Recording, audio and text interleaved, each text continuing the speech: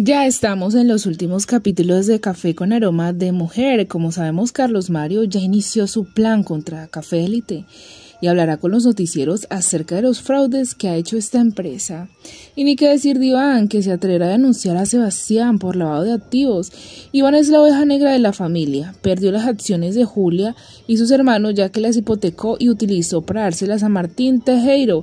Este ladrón se las robó, así que esa plática se perdió.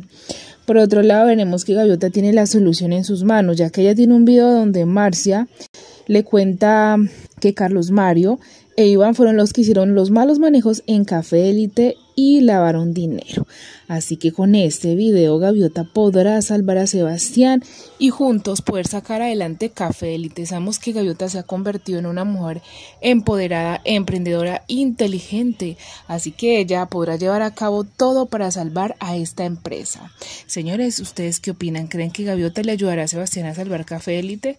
¿Qué les parecería esto? Déjenmelo saber en los comentarios.